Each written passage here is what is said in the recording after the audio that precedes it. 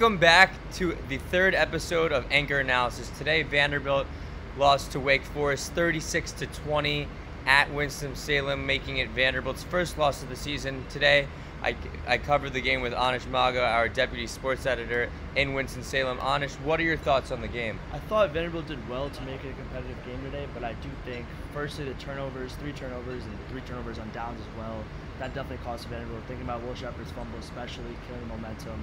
Um, it was really tough for Vanderbilt to come back from that. That was kind of a dagger early on in the game. And then secondly, rushing attack was really tough uh, for Vanderbilt to, to compete with.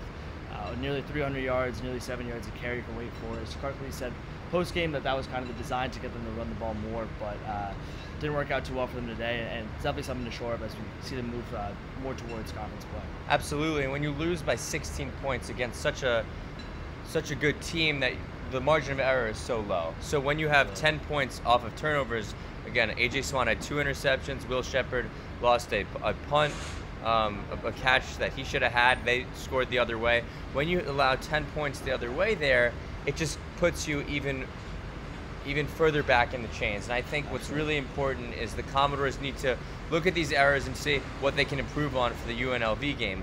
What's a positive that you saw? A positive I was really excited by was freshman London Humphreys, who had 109 yards, four catches, and a touchdown. And also Will Sheppard had two touchdowns, making it two touchdowns in the past three games, six touchdowns on the season, which is the leader in the SEC. Anish, what have you seen that you were really happy with? I would say one thing was uh, AJ Swann's resilience.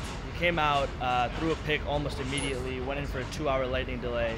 Um, but he came back, and you know he did have a pick before the end of the half. But besides that, I think he led some strong drives, played a good defense, a, strong, respected defense.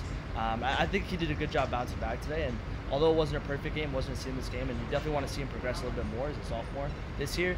Um, I, I, was impressed by how he kind of bounced back from that, from that uh, interception. Absolutely. And going back to the negatives, you were mentioning how the secondary really like let up a lot of yards, specifically on the ground, almost 300 yards on the ground what do you need to see in the UNLV game, in the UNLV game, to be convinced that the Vanderbilt Commodores can compete against SEC opponents? I mean, frankly, I think it comes down to improved play from their corner specifically. I think we saw Martel Hight and uh, B.J. Anderson get, get burned a few times. B.J. Anderson had two uh, pass interference calls, uh, one on third and 19 and one in the end zone, which really hampered Vanderbilt on a drive that Wake Forest got a touchdown on.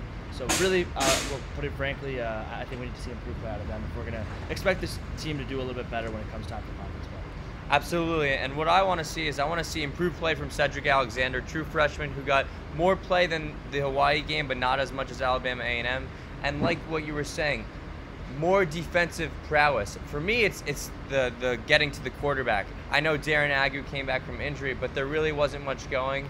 Again, really exciting things to watch out for.